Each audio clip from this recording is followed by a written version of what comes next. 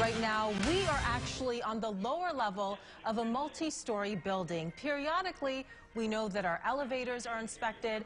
Fire marshals also look for potential fire hazards, but no one is routinely checking the structure of this building or, in fact, any other building in the Bay Area. That could soon change. The Surfside condo collapsed the same year it was due for its 40-year inspection. Tonight, Miami-Dade's 40-year recertification process is not required or conducted in the Bay Area. In fact, there's no requirement to routinely inspect, test, or certify any of our buildings.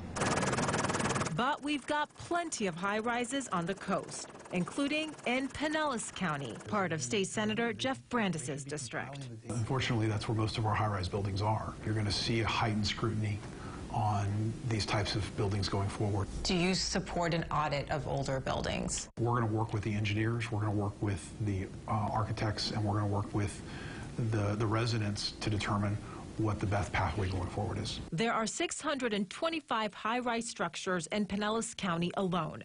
Eight on Your Side has learned building permits have been issued since the early 50s. Senator Brandes says change is imminent. The inspection process will be updated whether by law or the governor's executive order. Lives have been shattered irrevocably as a result of this. If you see signs of decay in your building, contact your association, property manager, or city county building officials.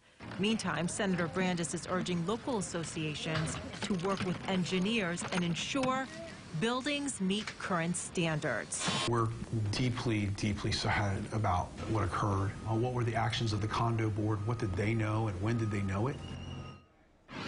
The big questions right there. Now, tonight we have learned that State Senator Jason Pizzo, whose district includes Surfside, is actively working on legislation. Senator Brandes says that it just makes sense to let lawmakers, Jen, close to the tragedy take the lead on this. Sure, that does make sense. But do we know what changes could be coming? I mean, which buildings will be inspected? How frequently? So I can tell you that right now lawmakers are looking into what's being done in other states, regions, and countries. And it would make sense to start by focusing on those older high rises by the coastline. We don't know if moving forward officials would just do visual inspections or whether they would decide that it's time to use high-tech tools to really look beneath the surface to look at the foundation.